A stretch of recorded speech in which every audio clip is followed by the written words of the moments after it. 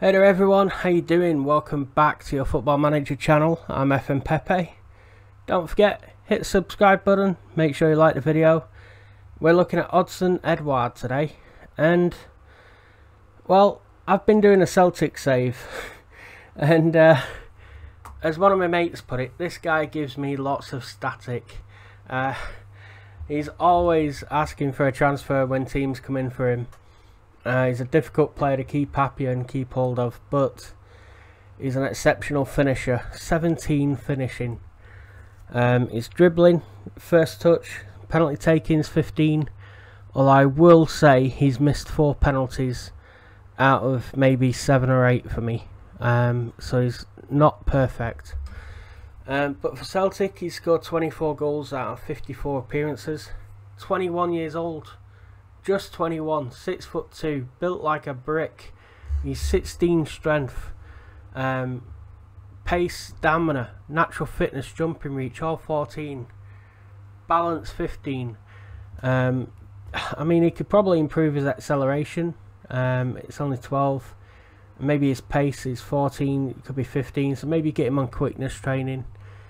But he's very, very good. Uh, free kick taking, um, I don't have him doing because uh, I've got other players in the team that do that, but his 14 is quite good. Heading and jumping reach is 14, which is quite good. Um, and like I say, technique 14. So he's good. He's good. Uh, when he's when he's on it, he's brilliant. When he's sulky, uh, he probably won't score for maybe half a dozen games. I think he went 10 hours of football without scoring for me. Um, he, he just gets in a mood. So he's a bit of a moody player, but if you're doing a Celtic save, he is worth keeping uh, for as long as you can. Um, I ended up selling him to Bayern Munich for like 36.5 million quid. Um, but yeah, that's kind of money you're going to be looking at if you need a Brian around 35 million.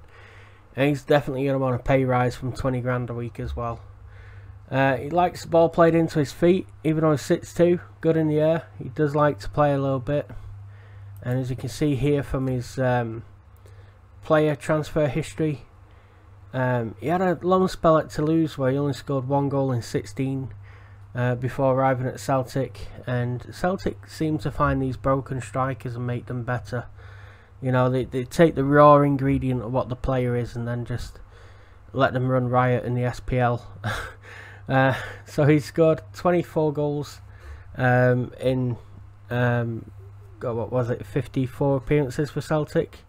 Um, he's done very well since arriving there for 8 million quid. So yeah, not bad, not bad at all. He will improve. Like I say, he's only 21. Um, he's not a full French international yet. Uh, he has played one under 21 game where he got a couple of goals he's definitely worth a look. Now his contract's up in 2022, which is three years time from now in the game, so you might want to address that. You might want to be careful of any release clause being too cheap if you, you have him in your team. And uh, yeah, hope that helps. If it does, drop a like on the video, make sure you subscribe, and I will see you all in the next one. And I hope he doesn't give you any static. Take care now. Bye.